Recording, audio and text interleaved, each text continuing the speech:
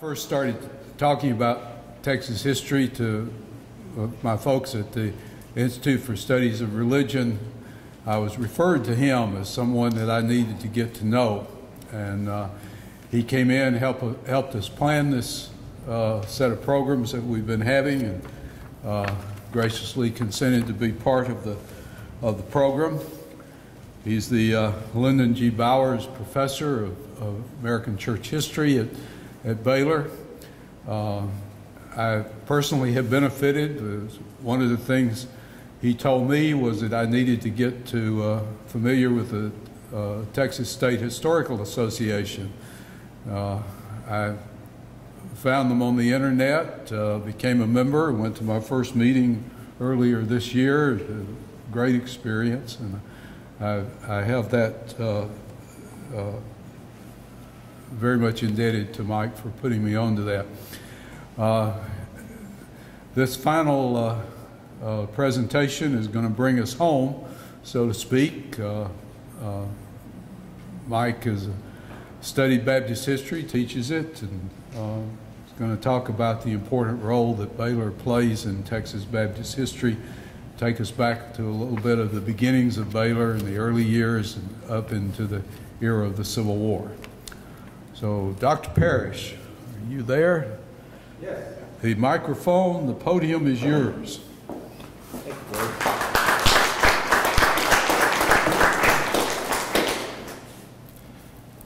Thank you, Gordon, and thank you all for turning out tonight. Uh, those of you who know me, particularly those of you who are my students, know full well that I don't stand on formality. Um, this is not really a lecture.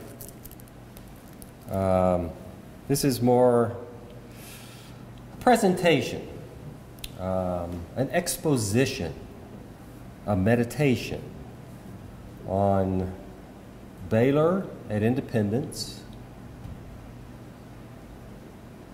during the Civil War era. Slavery, Civil War, and freedom.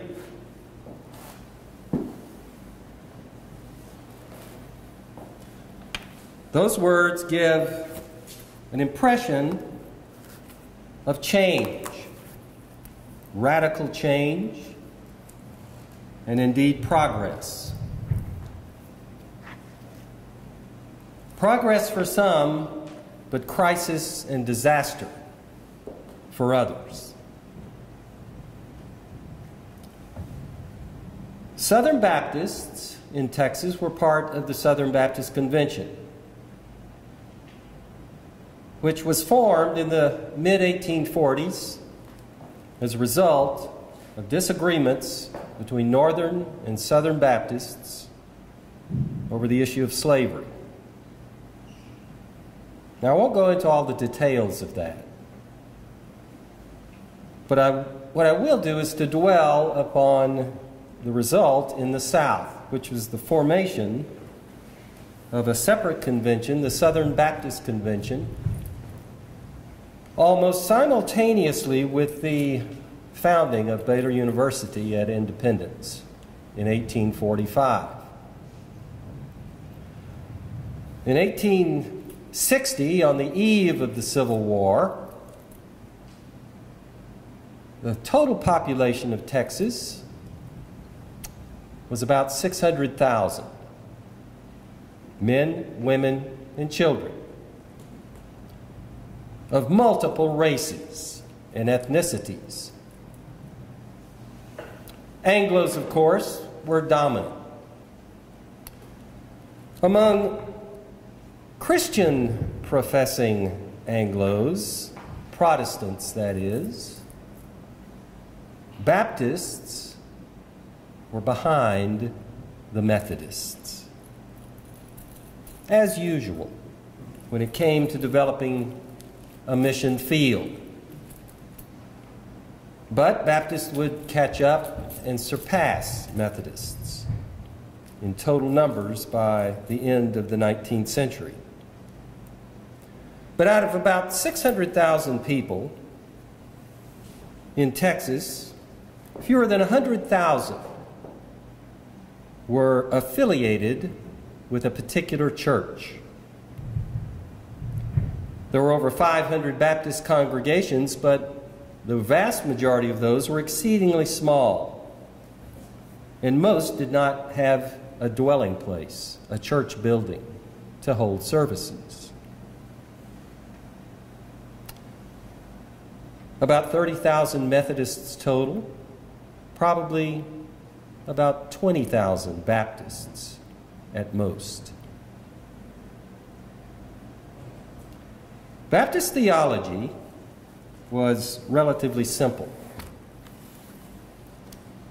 Baptists, like most other Christians, Protestants certainly, believed in a providential God, all powerful, benevolent, and judgmental, a God who acted in history and to the individual. Although, although evangelical, spirit filled, Baptists promoted intellectual, activity, and education.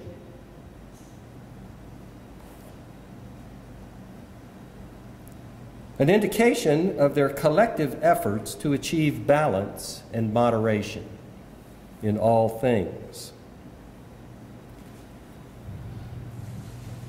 Their dominant denominational structure emphasized the local, the voluntary, the cooperative, and the, and the associational. At the highest level, the convention. The Southern Baptist Convention, as well as a Baptist State Convention.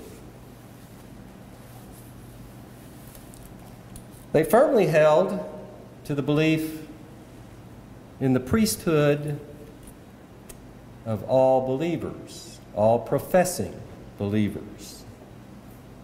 But they also promoted and practiced lay leadership in the church.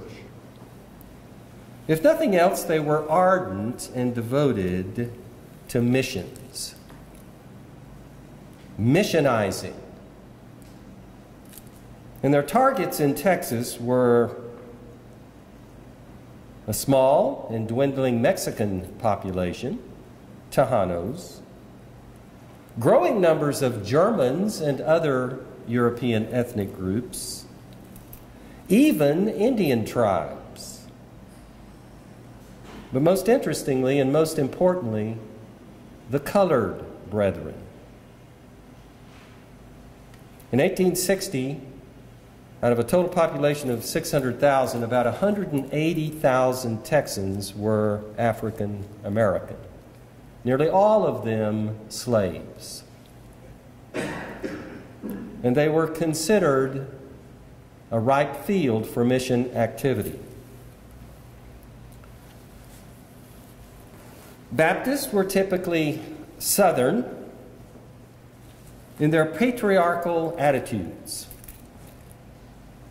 Patriarchal attitudes contributed strongly to what was known at the time as the pro slavery apology, the defense of slavery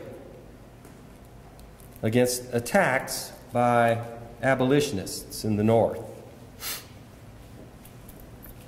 Key ingredient of the pro slavery apology was Herrenvolk democracy, a belief that Southerners had achieved the perfect kind of democracy, which guaranteed the equality of all white men. Proof of that equality being the degradation and the submission and enslavement of African Americans. The pro slavery apology justified slavery on the basis of race, the notion that African Americans were hopelessly and permanently inferior to all white people. They believed that slavery was good for black people. And they justified it as well in religious terms, using the Bible, of course, but also the missionizing responsibility. To Christianize, and also at the same time to civilize slaves. They also justified slavery with the belief and practice of paternalism, the notion of a Christian master looking after his slaves as members of his own family. Baptists believed very, very strongly in the separation of church and state. But then, as now, it was very, very difficult to keep church and state entirely separate. In fact, it wasn't even desirable. It was very difficult, most of all, when it came to politics, especially the politics of slavery, which led to a grave concern, a growing concern on the part of Texas Baptists that their freedoms, both their political freedoms and their religious freedoms, were under assault by abolitionists.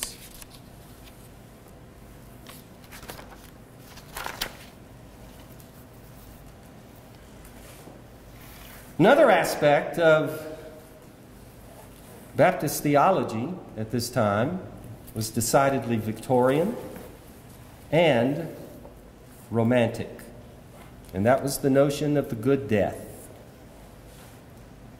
Death was pervasive in the 19th century, it was frequent, it was unavoidable.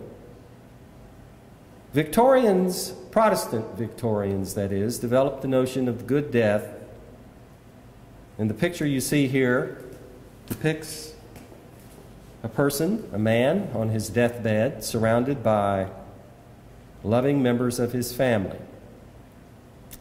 He dies peacefully, and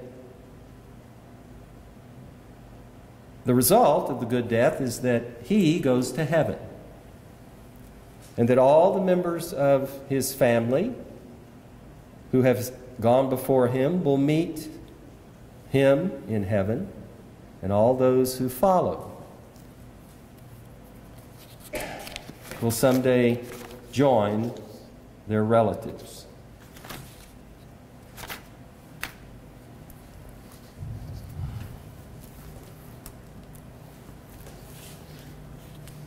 Texas was a rapidly growing and rapidly changing place between 1835 and 1860. I'll not repeat the numbers here, but you'll note that in 1860, on the bottom row, the breakdown of Anglos and slaves was roughly 420,000 to 180,000. Obviously, slavery was very, very important to Texas. Washington County, Texas, a couple of hours south of here on the Brazos River, was one of the fastest growing and increasingly one of the wealthiest counties in the entire state, indeed, in the entire South. These numbers show the rapid growth of the county to a total of about 15,000 people in 1860, more than half of whom were enslaved. The production of cotton bales alone, along with multiple other agricultural products and livestock, is proof of the importance of slavery to the economy of Washington County. By 1845, Washington County had become a center of not only economic growth, political activity, but also Baptist strength. And so it was the natural place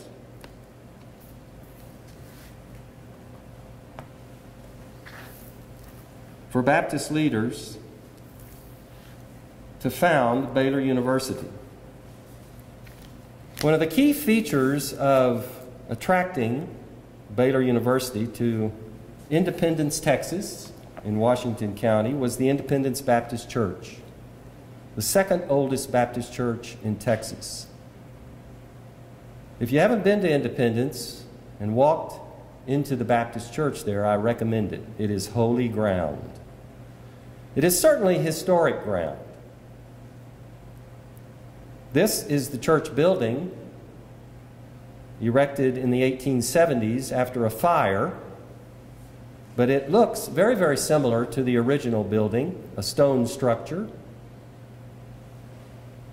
The new building was erected on the foundations of the original building. And the Independence Baptist Church, the IBC, included not only white members but also black members. One of the features of missionizing, Christianizing, and civilizing slaves was to make them full fledged members of the church. They sat on the back pews. Church balconies in later churches were constructed for the same purpose. When the pews overflowed at the back, slaves would gather around the windows outside and peer in. The purpose of instructing the slaves was deeper, more profound than simply Christianizing and civilizing. It was to indoctrinate them and gain control over their activities, to make them fully loyal to their masters in every possible way. While at the same time accepting the paternalistic Christian treatment from their masters. Virtually all of the early leaders of Baylor University were seriously committed to and invested in the institution of slavery including Baylor's namesake, Judge R.E.B. Baylor, who in 1860 owned 33 slaves. He was not only one of Baylor's founders, he was a trustee for a number of years, now called a regent. He was also an ordained Baptist minister. And he was the personification of moderation. Politically speaking, Judge Baylor, of all of the early leaders of Baylor University, remained, remained most resistant to the notion of secession and civil war. He was the exception that proved the rule. Richard Elam, an expert on early Texas Baptists, said a positive relationship can be established between wealth, including slaves, and leadership within the Texas Baptist denomination, especially at Baylor University.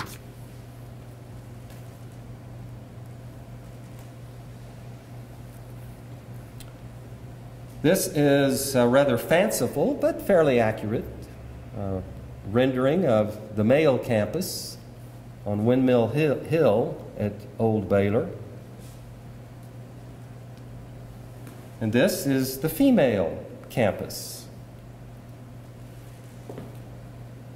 The campus which is reflected in the remnant of the of and the rebuilding of the columns that are present at Independence today. First president of Baylor University was Henry, Henry Lee Graves, who also served as the Independence Baptist Church pastor during the late 1840s and early 1850s. He was a slaveholder, although he owned only a few slaves. He was succeeded by Rufus Burleson, president, pastor, and also the owner of probably only one or two slaves. Well, I won't belabor the point of the concentration of slaves county by county throughout the South during 1860, including Texas.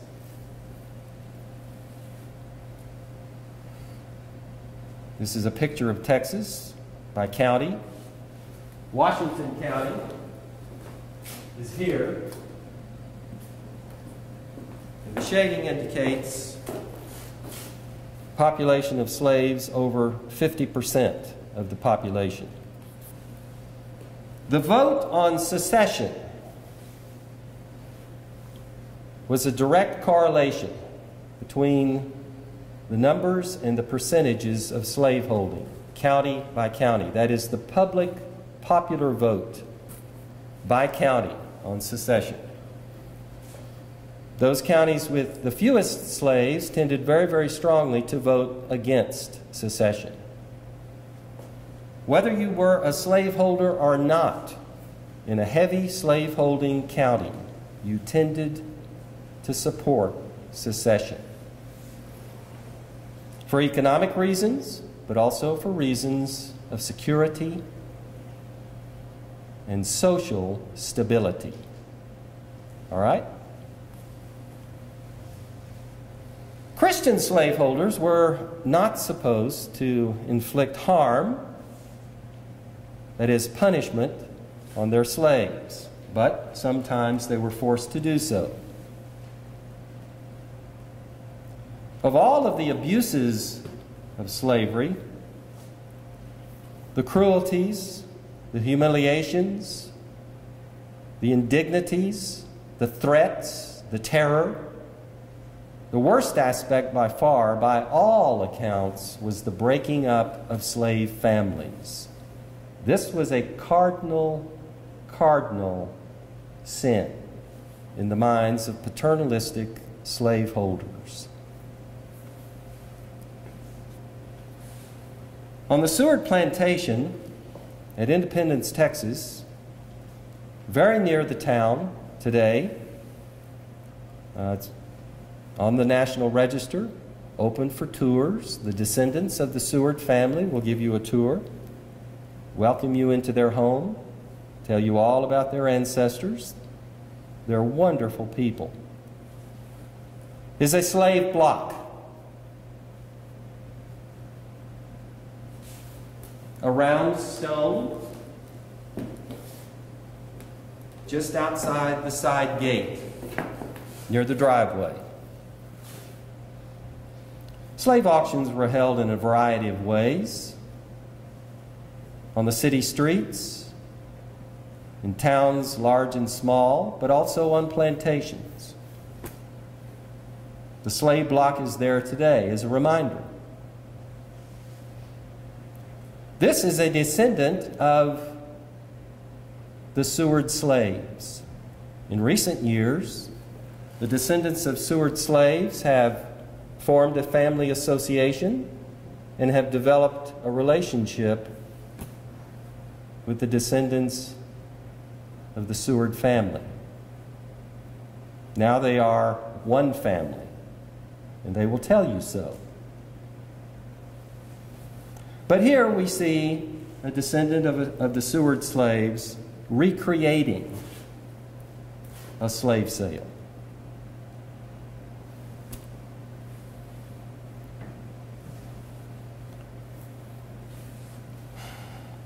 Slaves practiced their own brand of Christianity when they were away from white people. They often met secretly, although this picture shows white people present. That was the preferred way. That was the way white people preferred that slave preachers deliver a message to their congregation, to their fellow slaves. But in secret, they espoused a liberation theology. Instead of reading passages from the Bible such as slaves obey your masters, they told the story of the children of Israel and deliverance out of bondage.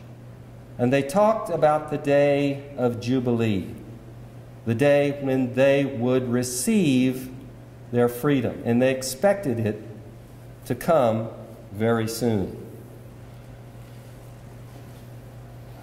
Baylor leaders, including George Washington Baines, the grandfather of Lyndon Baines Johnson, worried increasingly during the 1850s about the security of slavery. He served as interim president of Baylor during the Civil War. He had two sons who served in Hood's Texas Brigade, one of whom died.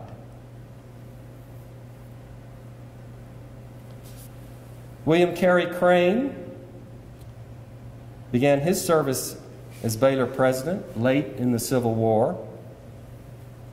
Interestingly, he refused to become a slaveholder. But both Baines and Crane were vociferous defenders of the institution of slavery. Baylor included very, very generous lay benefactors. Baylor was founded to develop a pious laity and a holy ministry. One of those pious laymen was Albert C. Horton, a hero of the Texas Revolution, a survivor of the Goliad Massacre and for a time governor of Texas. Devoted Baptist and par excellence in the practice of paternalism. Rufus Burleson was quoted as saying, Nothing ever impressed me more than Horton's tender and deep interest for the comfort and religious welfare of his slaves. He owned nearly 300 a large number of them members of the Baptist Church. He made a church house for them. He employed a preacher to preach to them. If the South had been full of such Christian masters as Governor Horton, God never would have allowed the abolition fanatics to set the slaves free till they were Christianized and prepared for citizenship or to return home to Africa and colonize and Christianize the dark continent. The African race would thereby have been a blessing to both con continents. But alas, the cruel Civil War crushed Horton's great heart, wrecked his princely fortune, and turned his once happy and contented slaves loose to become homeless vagabonds and made the richest part of Texas little else than an African territory. These are the words of the man whose statue graces Burleson Quadrangle. And you won't see these words on the historical marker next to the statue. I'm sorry. It's not good for the Chamber of Commerce, much less Baylor.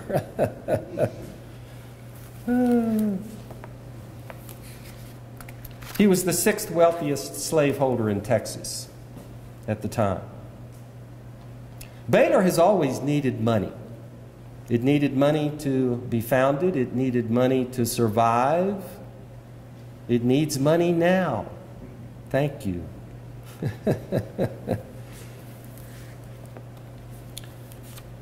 In late 1860, Baylor had been operating for less than 15 years and on the eve of the Civil War had nearly 500 students, about 280 males and 200 women, and boasted an excellent faculty and curriculum, enjoyed a reputation throughout Texas and the South as a leading institution. Baylor leaders, including law professors who also served on the Texas State Supreme Court from time to time, were extremely alarmed about the impending election of Abraham Lincoln. Royal T. Wheeler, head of the Baylor Law Department, said, What is this but an open declaration of war upon the institution of slavery in the states? Does Lincoln's Republican Party not aim a blow at the very existence of our society no less than our domestic peace and security. Wheeler was a passionate advocate for Texas to join the Confederacy and fight for Southern independence in the wake of Lincoln's election. Baylor President Rufus Burleson at first disagreed very strongly with Wheeler. His attitude reflected a unionist sentiment at Baylor among some faculty and certainly among some students, particularly the male students. It was the female students who wanted to go to war. Even after Lincoln's election, Burleson sided with his friend and fellow Baptist Governor Sam Houston in opposing secession and remaining loyal to the Union. However, like the vast majority of Unionists in Texas and across the South, Burleson became a patriotic Confederate when Texas joined the other six states of the Deep South by seceding in early 1861 and after the firing on Fort Sumter and Lincoln's calling of troops, that tide became overwhelming. These are times of profound excitement. Baptist and lawyer and judge Nicholas Battle wrote to Judge Baylor The election of Lincoln has roused the people. I desire to see Texas secede. We should listen to no terms of accommodation from the puerile, I love that word, puerile, faithless North. They are treacherous, too deeply imbued with infidelity. These are religious terms infidelity, socialism, accusations of foreign behavior, socialism, and the most horrid of all isms, abolitionism the sum of all villainies. For any further association with Southern gentlemen, patriots, and Christians, I look upon the abolitionists as our worst enemies on earth. Another Baylor benefactor who owned at least 200 slaves in 1860 was Asa Hoxey. His plantations were situated near Independence Although he was not a Baptist, he was a major supporter of Baylor during this period. He recognized that what was good for independence in Washington County was good for Baylor and vice versa. Of course, John Brown's raid in 1859 was a crucial turning point in whipping up fear in the South about slave insurrection the Texas troubles in the summer of 1860 only made matters worse a widespread panic of, about a slave uprising. George Washington Baines, editor of the Texas Baptist newspaper at the time, justified vigilante activity, rounding up alleged slaves who were rebelling and abolitionists and hanging them. He said, we are hanging them to save our own lives. I'm sorry, folks. This is what he wrote. And of course, the fear was Abraham Lincoln, the so called black Republican, whom Southerners generally considered to be an abolitionist. He wasn't really. He said he wasn't. Southerners didn't believe him.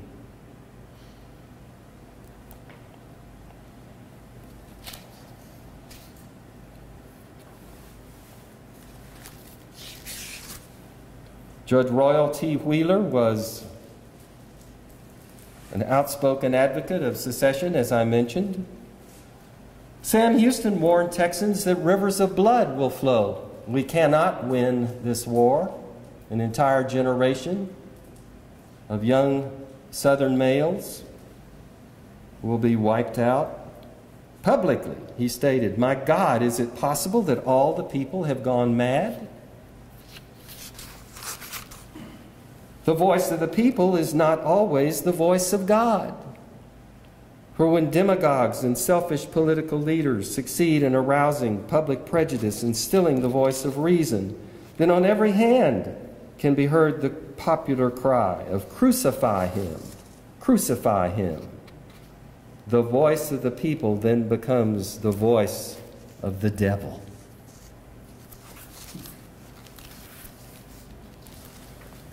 Sam Houston had been baptized by Rufus Burleson in 1854. Thanks to the relentless entreaties of his wife, Margaret Lee Houston, whom he had married in 1840, he finally joined the Baptist Church and was baptized in 1854. When Rufus Burleson baptized him, the story goes, he said, General, now all your sins are washed away. Houston said, have mercy, may God have mercy on the fish downstream. Margaret Lee Houston succeeded in finally forcing Houston to settle down, in particular to stop drinking. Margaret Lee Houston's favorite first cousin was William P. Rogers. Originally from Mississippi, he settled in Texas in 1851 and became a lawyer, a very successful lawyer. He was a devoted Baptist, and for a time he was a law professor at Baylor University at Independence. Sam and Margaret Lee Houston named one of their sons after William Rogers. William Rogers Houston.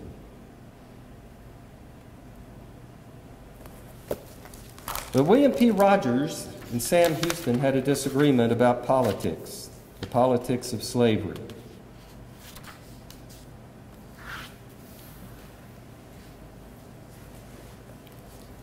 And when the war began,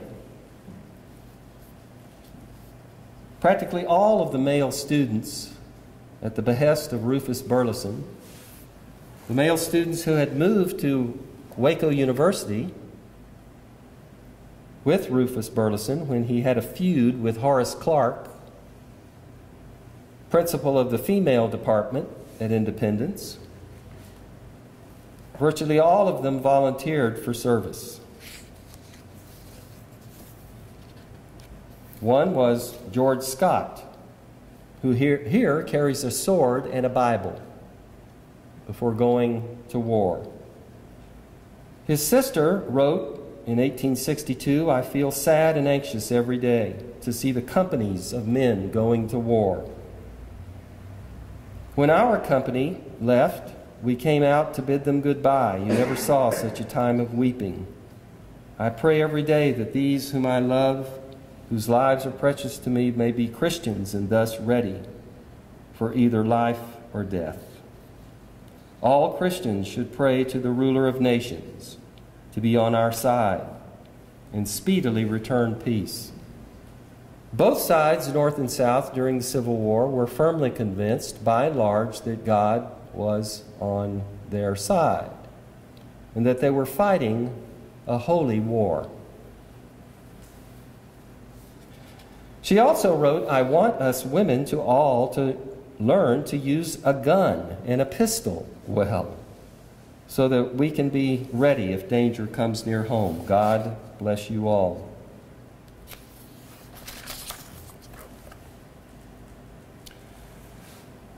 William P. Rogers became colonel and commander of the 2nd Texas Infantry in 1862. He fought at Shiloh with great distinction. In October of 1862, at the Battle of Corinth, he was mortally wounded. This is a depiction of him going over the ramparts of Battery Robinett, an earthen fortification on the outskirts of Corinth. He's carrying the regimental battle flag. And there he was shot down. The idea of the good death in the Civil War was much like the idea of the good death in peace a deathbed scene. The wounded, mortally wounded person, in this case, an officer, receiving the attention of nurses and an attending physician.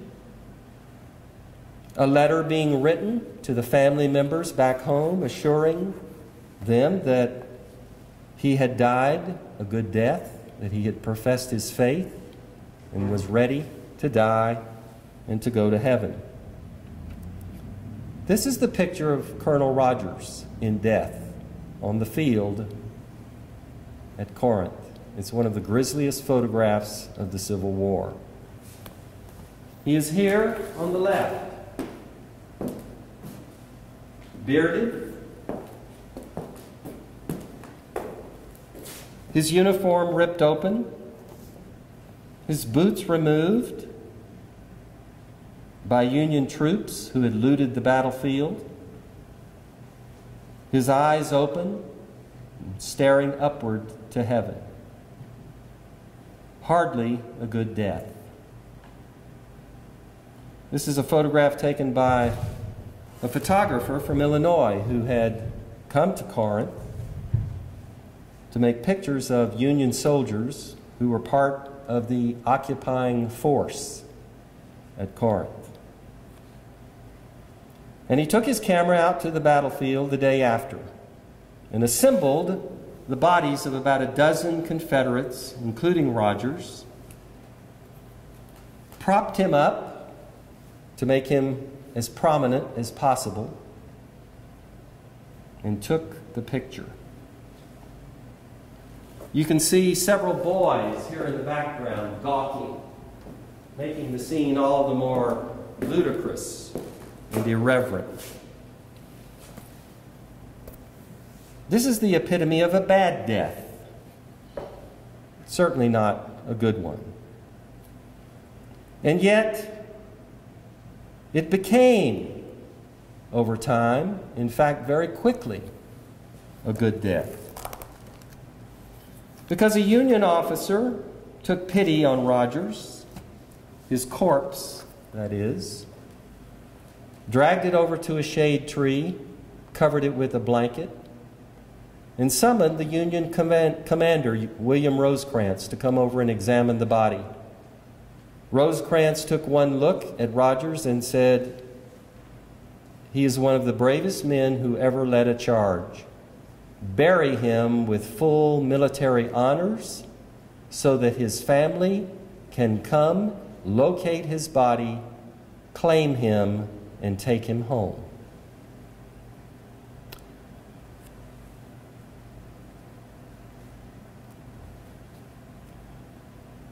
But his body remained at Corinth. He was buried where he fell, according to his family's wishes. And he became a martyr to the lost cause a devotion and a reverence and a worship for the Confederacy and its legacy. This is a picture fashioned by a woman in Mississippi of Colonel Rogers' picture. It is an homage, a collage, celebrating the lost cause. It's today in the Mississippi Department of Archives and History. You can see the Confederate regalia, the Confederate flag, the lettering, Colonel Rogers, and other gallant Confederates killed in, in front of Robinett, October 1862. And the names of other battles emblazoned along the left.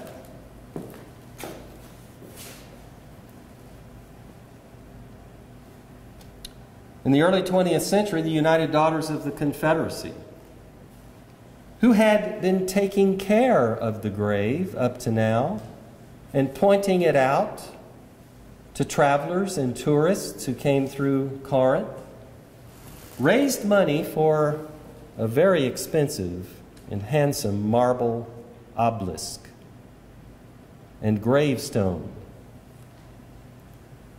Descendants of William P. Rogers gathered there to dedicate the grave. One of his grandsons held aloft the sword that he had carried at Corinth. When Sam Houston heard of Rogers' death, he wept. He wept for Rogers, he wept for the South. because by 1863, the South was beginning to lose the Civil War. This is the last photograph of Sam Houston taken, just recently discovered, by the way. Quite a contrast to the vigorous man of just a few years earlier that we saw.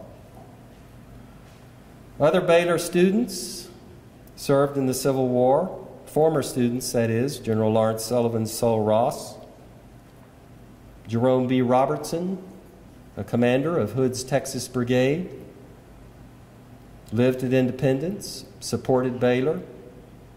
His son, Felix Robertson, was a Baylor student. He also became a Confederate general.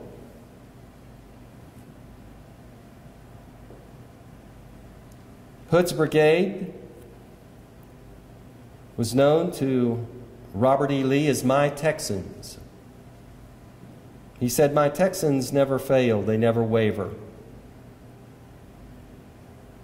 Henry McArdle, a renowned Texas artist who for a time was an art teacher at Baylor at Independence,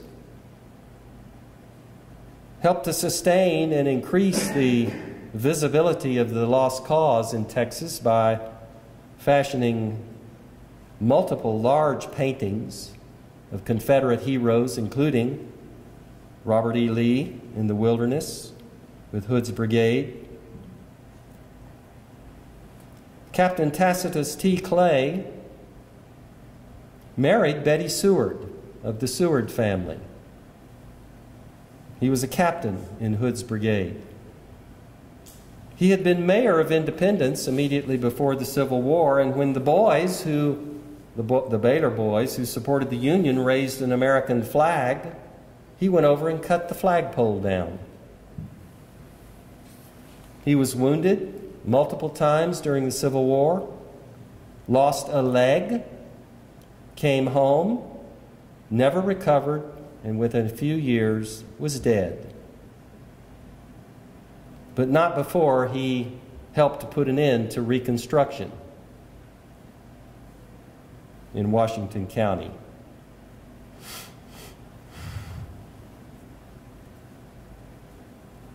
Freedom freedom. Texas Baptists, that is, Anglo Texas Baptists, feel like they had lost most, if not all, of their freedom as a result of defeat in the Civil War. During Reconstruction, they fought politically and violently to recapture, reclaim, to restore that freedom. But in the meantime, black Baptists in Washington County, in Independence, and indeed all over the South claimed freedom for themselves. The Baptists, the black Baptists of Independence Baptist Church, broke away by 1871 from the white congregation and formed their own, the Liberty Baptist Church which flourishes to this day, just a few hundred yards away from the Independence Baptist Church.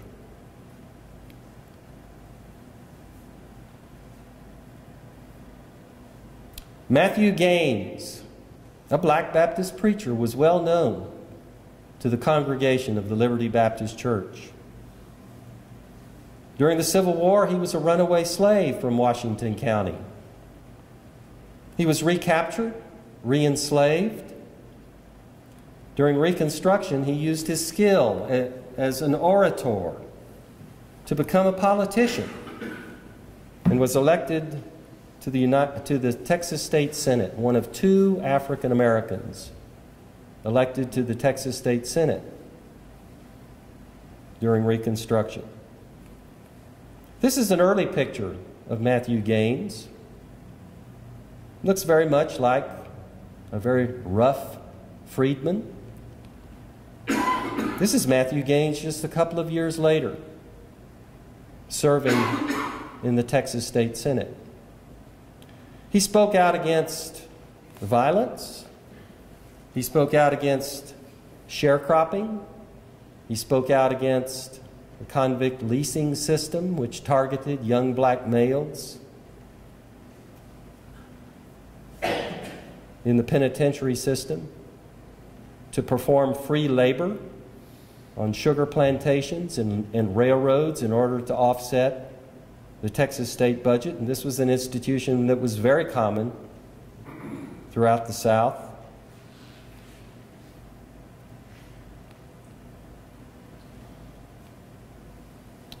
He spoke out against the threat of segregation in public facilities, public schools especially. But segregation won out because Reconstruction was overthrown. Segregation was most evident in religion. Separate churches, black and white, indeed, separate cemeteries, black and white. This is a historical marker at the Liberty Community Cemetery near Independence. The Independence Cemetery, the White Cemetery, is much more visible, much easier to find.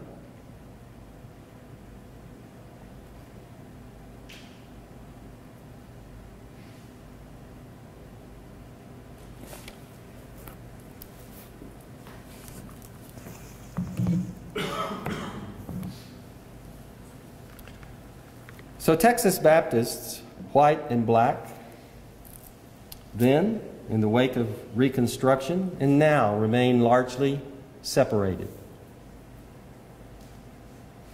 Christian slavery and paternalism tried, ironically, to bring Baptists together. But the Civil War and Reconstruction tore them apart. Baylor University and uh, Waco University managed to survive the Civil War. Baylor eventually merged with Waco University in 1886 with Rufus Burleson as president. And here it remains in Waco. I'll stop right there and thank you for your attention and be glad to answer any questions you might have.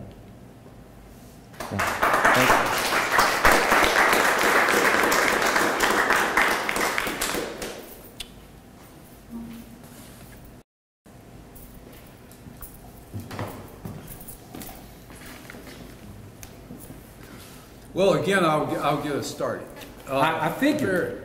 Very, very early on, you were dealing with the stats on uh, church members and residents, et cetera. Yeah.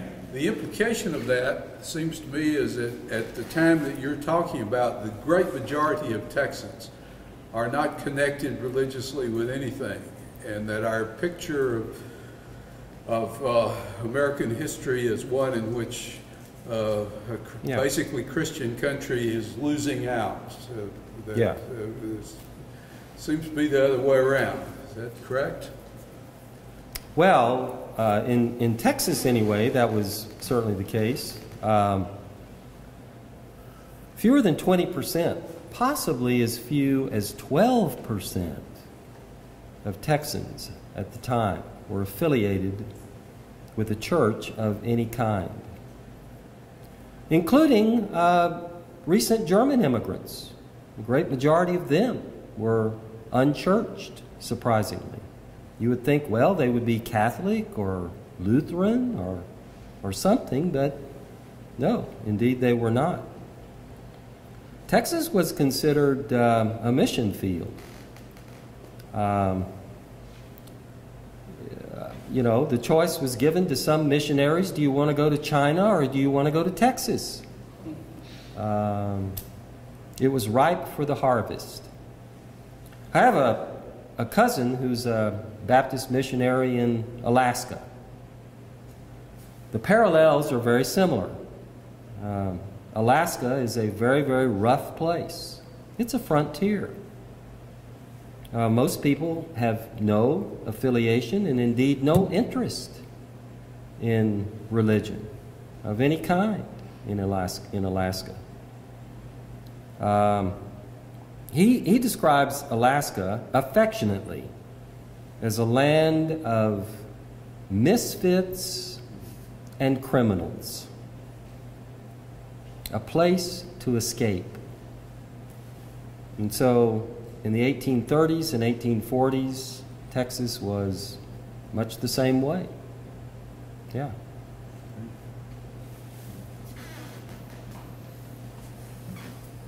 Now, dinner, I'll just say something while you all are coming up with interesting questions.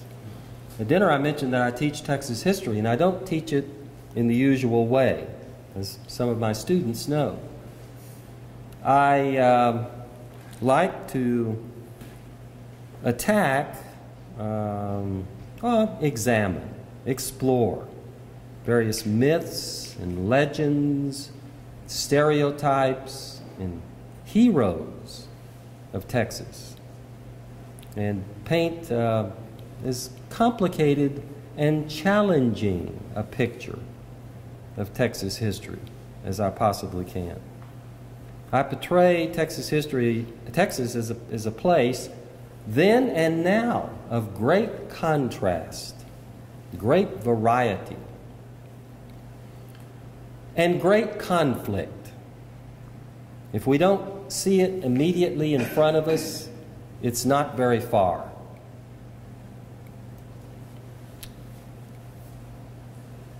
Questions? Anybody? Yes. Whoever raised his hand first. Oh, okay. Uh, thank you for your talk, Dr. Parrish. I was, um, I had a question about Baptist and separation of church and state. Yeah. Uh, early in your, your talk, you mentioned uh, Texas Baptists not that separation was necessarily desired. Uh, I wonder if you might say a little bit more about that. Yeah. Well, you know, typically when we think of separation of church and state, we, we think of keeping the state out of church affairs and teaching the, keeping the church out of state affairs. Um, and in those days, that meant that clergymen could not serve in the legislature. Okay? That's not true anymore. But state, in terms of government, very often becomes government policy, doesn't it?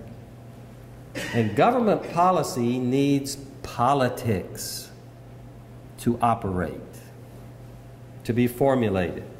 Okay? So, where church and state begin to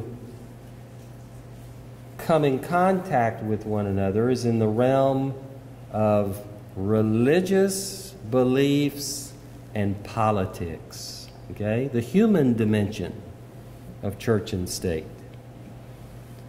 Uh, in an ideal sense, church and state should be kept separate so the one can critique the other. All right? Hold the other in balance, right? In harmony. But it's not always a harmonious situation, is it? It's impossible to completely separate church and state, and not really even desirable. The two have to be held in tension with one another. Okay? Good question. I have Yeah. a question about Reconstruction. Uh-huh. Um, it was striking to see before the war the, the difference in counties and, and some counties that lost. Like, Can you speak up just a little bit? I'm, I'm fighting a cold and I, I can't hear. uh, I'm wondering if if the federal government treated counties that had a lot of slaves differently than counties that did not have a lot of slaves Now, what do you mean by treat? during Reconstruction. Oh, Did you're, did they you're, you're talking about uh, freedmen, not slaves. Well, before the war, there were some counties that had many slaves. Yeah. And after the, um, and I'm wondering if the federal government treated those areas differently during Reconstruction than other areas that did not have a lot of slaves in Texas. Well, not necessarily. And, and, I, and why do you ask the question? Let me, let me, let me get some clarification. Well, I mean, that's a fairly open-ended question. Why, why do you ask it? There was such a difference in the secession vote, Yeah, right? Yeah. And so I'm wondering if the federal government would treat those who were anti-secession differently Yeah. after the war. yeah. Well, those, okay, all right, I understand what you're asking now. Yes. Uh, the federal government, uh, union authorities, and union troops, although there never were that many union troops, treated areas that had opposed secession as areas of uh, loyalism. They looked upon those who had resisted secession, and particularly those who had uh, resisted Confederate authority, as uh, loyalists who were good candidates to become members of the Republican Party. And indeed, many of those loyalists uh, during Reconstruction did become members of the Republican Party as so called scalawags, the epithet given them by former Confederates. And so, uh, the federal presence in, in those counties, low slave, la- low slaveholding counties, counties of loyalty, federal pres- presence was, was minimal. Yeah. Would the hill country be part of those? Yes, yes, indeed. North Texas and the Hill Country were the strongest areas of resistance to secession, uh, resistance to Confederate authority. Uh, during the Civil War, there was uh, violence in those areas. Uh, Confederate troops inflicted violence upon Unionists in North Texas. Um, the Great Hanging at Gainesville is one dramatic example of the persecution and violence of uh, disloyal elements. Um, in the hill country, Germans especially uh, were resistant to secession. Uh, not all Germans, about half of the Germans, or less than half, were resistant. And by that I mean vociferously, um, stubbornly resistant to secession and resisted Confederate authority. And there was there was uh, violence against them um, during the Civil War.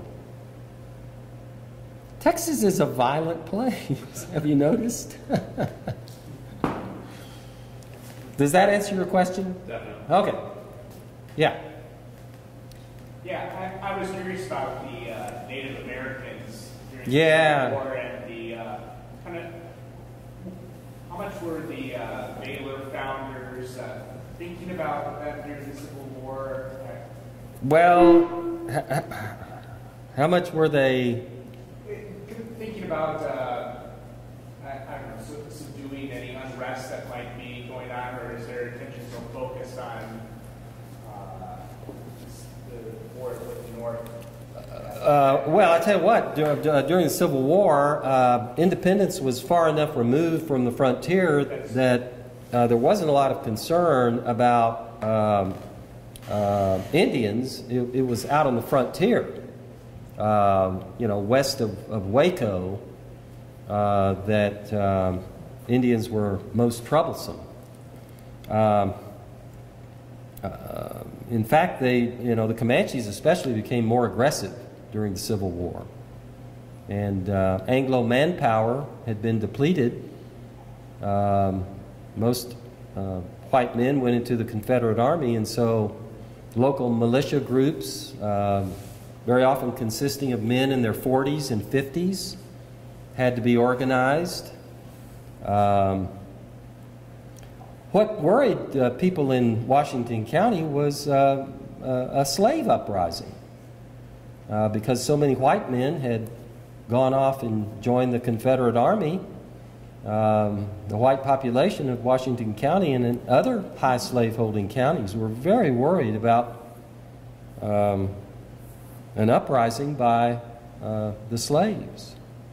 They appealed to uh, the Texas government to send men back from the army who had been members of the slave patrols before the war because they were worried about unrest among the slaves. Yeah. excellent question.